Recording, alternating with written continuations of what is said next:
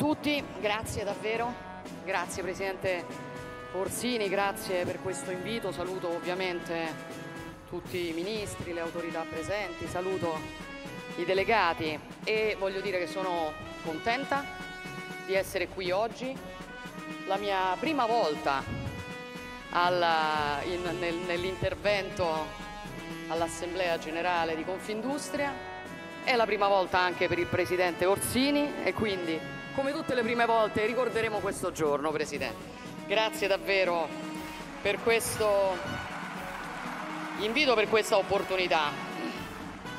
Voglio dire eh, sinceramente che ho molto apprezzato la relazione del Presidente Orsini.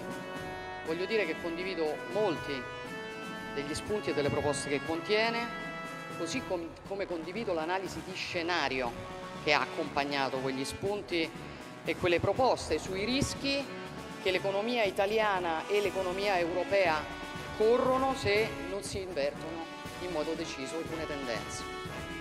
Prima di tutto però voglio fare i complimenti al Presidente per l'accento che poneva sul tema della responsabilità sociale delle imprese. Chiaramente una responsabilità sociale che va a beneficio dei lavoratori, della comunità, sono come si sa aspetti ai quali Confindustria ha sempre dedicato un'attenzione che tuttavia non era scontata.